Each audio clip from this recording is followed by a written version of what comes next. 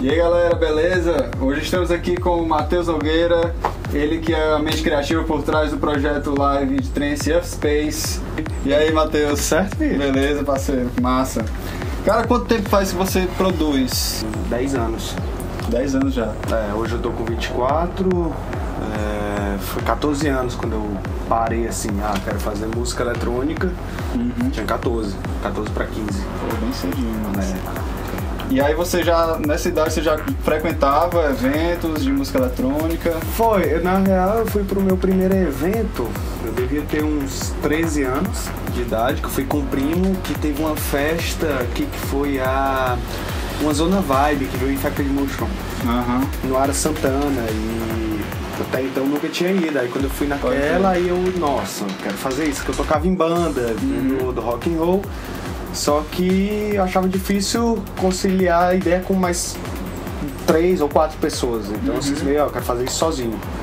Aí crer. foi quando eu parei pra começar a produzir. Aham. Aí qual instrumento você tocava? Ah, na real eu tocava tudo, assim, tipo guitarra, tinha noção de bateria, baixo e Ah, tal, que legal. criava mais ou menos como é que ia ser a música, assim, pra Aham. galera, eu que dava as coordenadas. Eu acho isso foi que me ajudou a, também a criar minha. Ah, tá, com certeza. Sabe, tipo, criar o que eu faço hoje. Qualidade é tudo. É. E, e quando você começou a tocar música eletrônica, você já começou produzindo? Ou você tinha algum projeto de DJ set? Não, eu comecei produzindo. Porque, tipo, que nem como eu disse que eu já vinha da banda, Aham. meu esquema era criação. Criar. Sempre foi criação. Quando eu aprendi a tocar DJ set, tá com uns dois, três anos. Mais recente? É, Parece, né? mas eu sempre gostei de sentar no estúdio e criar minha, Pode meu próprio crer. som, sabe? Cara, eu queria que tu falasse um pouco das tuas parcerias com os produtores, assim. É, quando tem a Blacklight Records, né? É, então eu assino com a Blacklight, que é uma gravadora italiana. É, tem a Mosaico Records, que é a, enfim, é tipo a minha família. E tem agora a recente Vagalume, que ela tá voltando, que ela tinha parado um tempo e agora voltou. É, hoje eu assino com eles três, mas tipo, lanço músicas em diferentes gravadoras, assim, ao, ao redor do mundo. Como é que é essa tua relação junto com os gravadores? Qual é o apoio que eles te dão? E ao mesmo tempo quais são as obrigações que você tem com eles? Então, Como é a- que funciona isso? O apoio é tipo o fato principalmente de lançamento, sabe? Pra eu poder estar sempre lançando minhas músicas. É, Eles masterizam tudinho? na, é, na real, tipo, a gravadora ela encaminha pro engenheiro de áudio, né? Então, é, tipo, as planos, a Blacklight ela manda pro Domestic, que é um, um live antigo, tipo, o cara é mestre. É, a Mosaico hoje eu faço as minhas com o Tron. Né, que é o mexicano, então pra mim é, Irado, é minha, minha pref- ele é meu preferido, assim, na, na verdade. E eu sempre tento, assim, ao decorrer do ano, eu tento conciliar meus lançamentos com essas gravadoras. Tipo, lancei agora recente um EP na, na Blacklight, que foi um EP colaborativo com três outros artistas. Foram três músicas, versos. É, vai sair um agora pela Mosaico. é, que são, vão ser duas músicas solo e tipo com a Vagalume tô preparando alguma coisa aí pro segundo semestre. E aí ao decorrer do ano eu vou tentando tipo tento fazer meu calendário tipo três EPs no primeiro semestre que nem eu fiz agora nesse primeiro Aham. semestre eu lancei por uma gravadora da sul-africana chamada Expo Records. Aí teve esse EP com a Blacklight agora vai ter esse com a, Vagalu com a Mosaico. Então tipo eu tento me programar dessa forma. Pô, irado. Você já começou a falar, uma coisa que eu ia perguntar até agora, é das produções que, colaborativas que você tem com outros artistas. Queria deixa eu te perguntar quais foram as que foram, vamos dizer, as principais pra você, que acrescentou muito pra sua carreira, que foi interessante produzir. Você já falou com o Tron, do Tron, né? Muito bom também o cara, É. sou fã dele também. Então, eu acho Foi que esse de colaboração que me marcou bastante, é... a galera sempre me associa com o Pedrinho, o Shekinah. Então, porque a gente tem uma amizade já tem uns anos e, e a gente caminhou junto bastante, a gente caminha junto, assim, na verdade. Tanto teve uma música nossa que é a You Flow, que é, tipo, ela foi feita dois anos atrás, até hoje eu toco ela no- no- no- nos meus lives. Recentemente a gente fez uma. Ano passado, a New Riders, que a gente usou um vocal do Jim Morrison, que, que virou um hit. Mas é, fiz, fiz músicas com, com gente boa. Eu gosto de trabalhar bastante com remix. É, tô fazendo um agora pro Ágil. Na verdade eu tinha feito ele há dois anos atrás, mas eu não gostava. Comecei a fazer um novo. É, fiz um pro Chelly Earthling.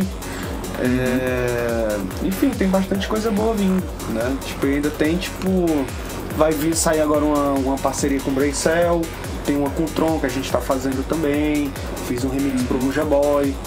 Então, tipo, a galera mais clássica, sabe, assim, que Legal. tem um respeito grande, na verdade. Pô, muito bom.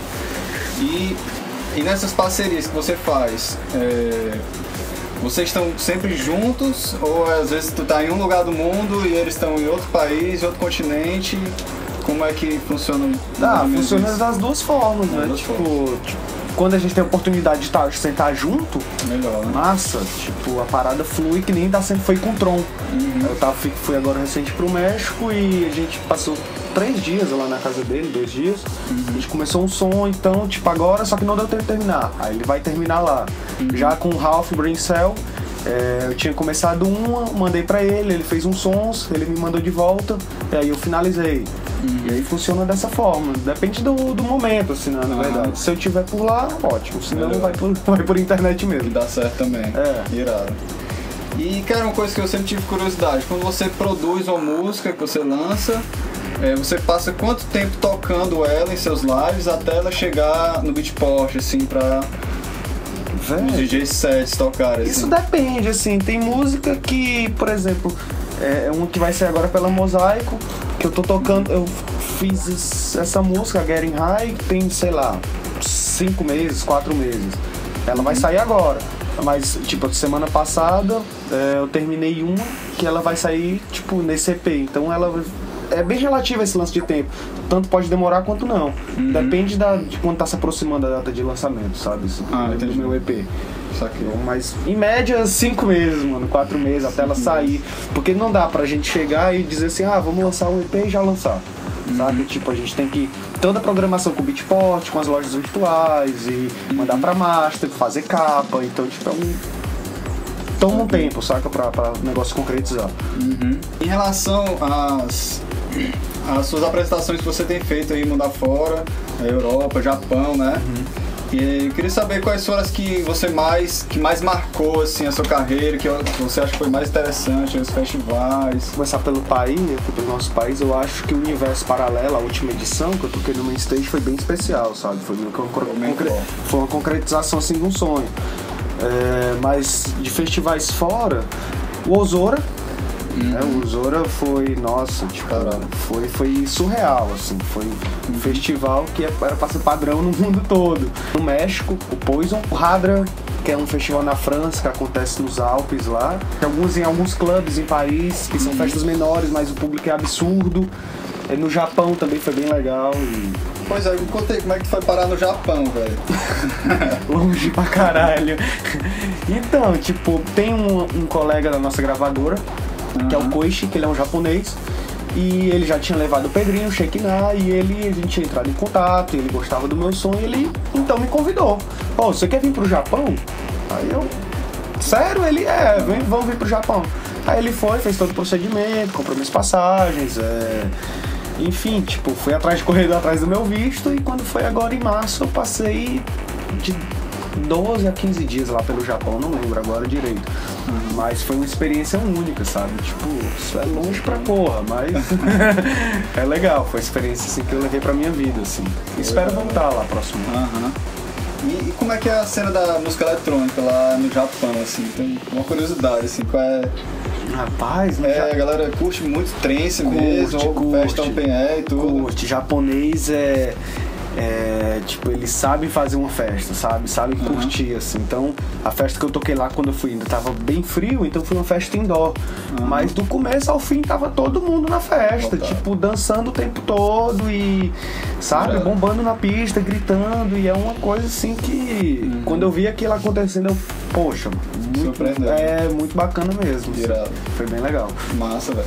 E como é que você vê a cena da música eletrônica underground lá pela Europa, assim? Porque eu, eu passei um tempo na Europa, mas eu fiquei mais tempo na Irlanda, né? Morei lá. Mas assim, como é que você vê a cena underground no, ali por onde você passa e você toca? É, você acha que tá forte, tá sendo bem disseminada? Lá na Europa é forte, sabe? Tipo, essa parte de underground, principalmente pelo pelo tipo de trance psicodélico que se toca lá. Então, que é bem diferente aqui do Brasil.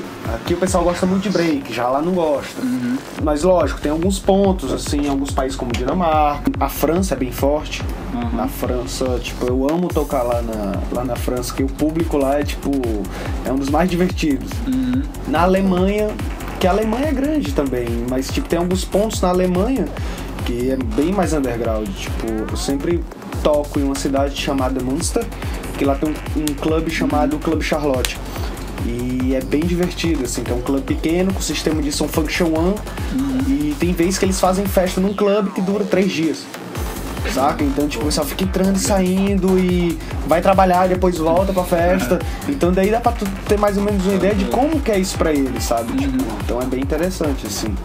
E você tá indo pra Europa agora, né? E já tem alguns eventos marcados. Aham. É, fala um pouco assim de, de como é que vai ser essa tu- sua próxima turnê na Europa. Então, aí, tô é indo vai agora.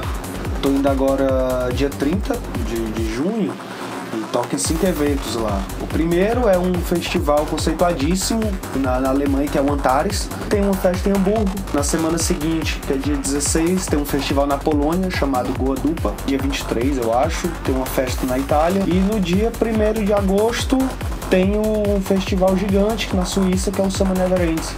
Que, é um festival lindo, lindo, lindo mesmo, assim. Ele acontece no meio do- dos Alpes suíços, meio que num vale. E, tipo, é absurdo, sabe? Se eu vejo os vídeos, as fotos, eu fico olhando assim, nossa, tipo, não vejo a hora de chegar lá. Também, né? Filme, filme.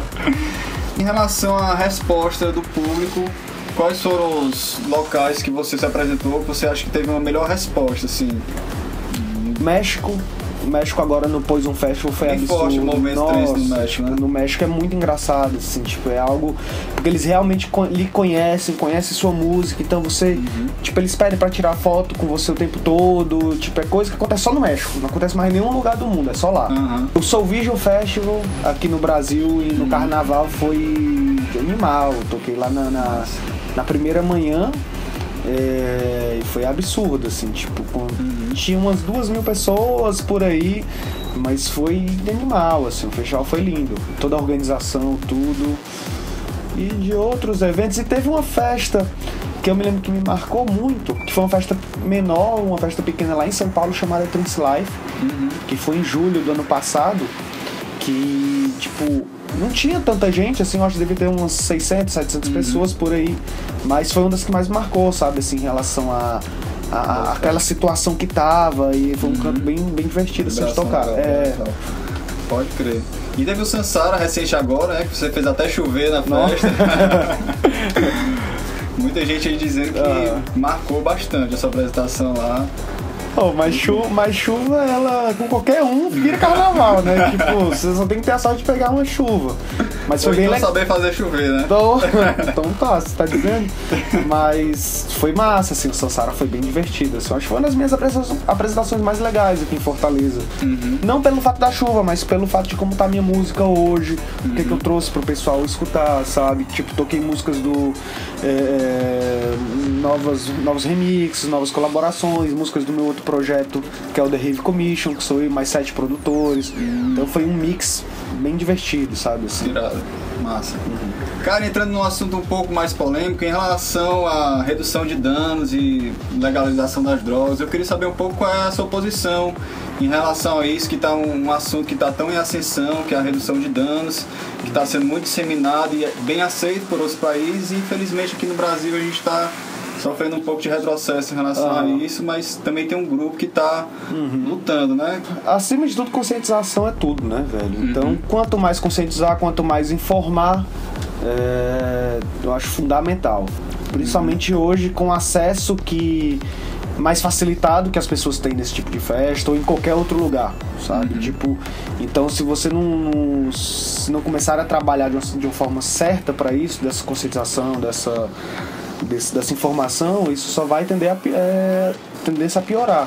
Então, e assim, eu não sou completamente a favor de legalização de droga, eu sou a favor de descriminalização. Então, tipo, que não é certo você tratar um usuário como um traficante, sabe? É, mas eu não sei se o Brasil está preparado por uma, vamos dizer assim, pra uma legalização, que nem está sendo Colorado, em alguns outros cantos, de, até para uso recreativo. É, isso já eu não, não, boto muita fé ainda no Brasil hoje, do jeito que tá. Mas descriminalização sim.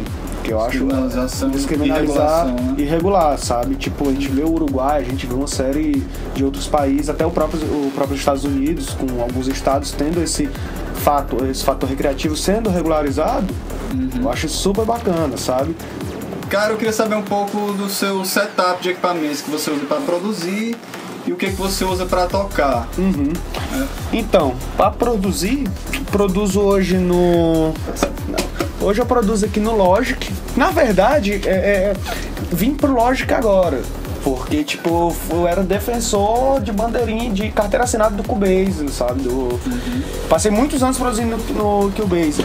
Só que chegou uma hora que eu cansei daquela métrica. Tipo, abri o programa, era do mesmo jeito, fazia música, então não tava mais tão divertido. E hoje eu tô produzindo no Logic. E Tá fluindo melhor, né? Tá, tipo, tô conseguindo trabalhar bem mais rápido. E produto tem esse sintetizador analógico, que é um microcorg, que funciona também como teclado MIDI. Aqui dentro eu uso uma série de plugins, VSTs, eh, VSTIs, eh, eh, tipo sintetizadores virtuais. Tenho esse pad Maqui, que são os monitores de referências bons. Massa. E quando eu viajo pra tocar, tipo, eu tenho uma plaquinha de som pequenininha, que é da, da Tracto Audio 2. É, cabe no bolso, sabe? Assim, ela é perfeita pra, pra viagem. E um controlador, um nano control. Tipo, que é ótimo pra controlar o programa que eu uso, que no caso é o Ableton. Então esse é o meu setup pra, que eu venho usando hoje. Na né? verdade. É. Então, Matheus, cara, foi muito bom conhecer um pouco mais aí sobre a sua carreira e saber um pouco mais sobre o seu trabalho, o que você vem fazendo aí mundo afora. Um prazer Velho, estar aqui obrigado. na sua casa, obrigado por receber a gente, por aceitar participar do nosso programa. Então é isso aí, galera. Continuem ligados aí no programa, trocando ideia, inscrevam-se no canal, dá um joinha aí e até o próximo vídeo. Escreva.